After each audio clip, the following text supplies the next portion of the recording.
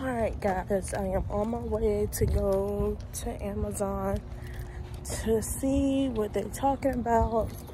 I just called the employee resource resource center and um yeah they told me that i'm my resignation has been reinstated so they gave me a confirmation number that I'm, i can give to the HR people to let them know that I can come back to work. It's been reinstated. So we'll see. These people have been giving me a hard time. But we'll see. I will let you guys know when I speak with them. But yeah, guys.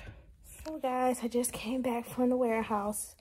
It took me an hour. I sat in there for an hour waiting on human resources, by the way.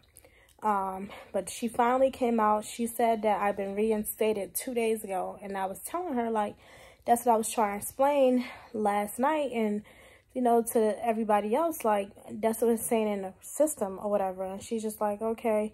She said she fixed her my badge for me, so I'll be able to badge in.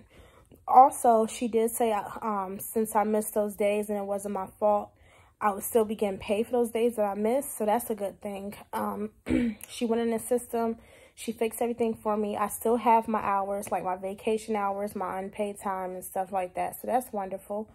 Also, um, she told me to come in tonight because they have an unforeseen circumstance at the warehouses tonight. Once again, so but she said I'll be still getting paid for tonight. So she said I'll start tomorrow night. So I'm just like, okay, you know that's a wonderful thing as long as I'm getting paid for the days I missed tonight. So I'm happy. I'm just like, man, after all that I've been going through. But yeah, God works out everything. Once again, um, yeah, if anything changes, I'll let you guys know, give you guys an update. I'm going to just work hard as much as possible, stay out of everybody's way and do what I have to do. Go work, you know, come home. And that's it, guys. But yeah, I hope everybody's having a great day.